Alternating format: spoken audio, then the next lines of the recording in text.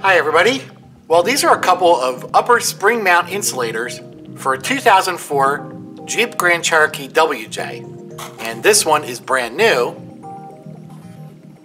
And the new one is a Moog K160 061. And over time, these spring insulators develop a problem where they start to break down chemically and it actually looks like they're melting down onto the springs.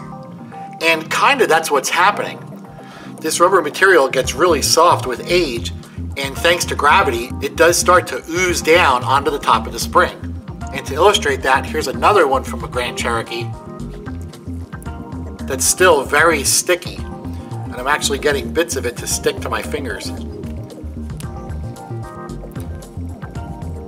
You can see how shiny it is. That's basically the wet part that gets stuck to you. If you've never seen this problem before, the best way I can describe it is that it's like old chewing gum. It's soft and it's sticky, and some parts of it are pretty easy to pull apart.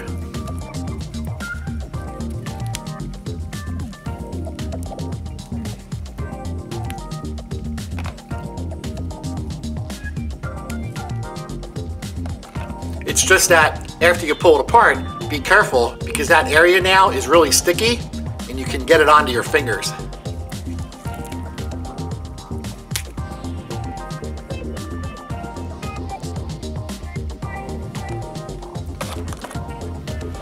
And this is the new replacement part from Moog, which feels like normal rubber and hopefully should be much better installed in the vehicle.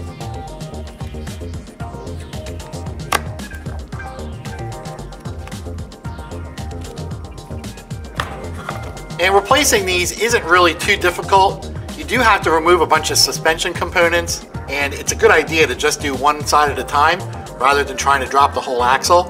But once you get enough removed that you can pull the spring out, you just have to pry these old ones off and slip the new ones on. So at first glance, you would think that this is caused by excessive heat, as if something under the vehicle got so hot that these spring insulators started to melt. But I don't think that's what it is. I think it's the compounds that were used to mold the rubber in the first place. And probably they used too much of one component that caused the rubber to break down over time and get so soft that it started to melt.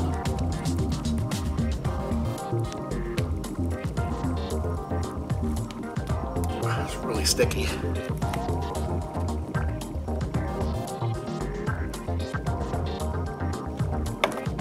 And that's why I have all these pieces left over that were laying on the bottom spring mount. So, pretty cool. Well, if you have any questions or any comments, post them below.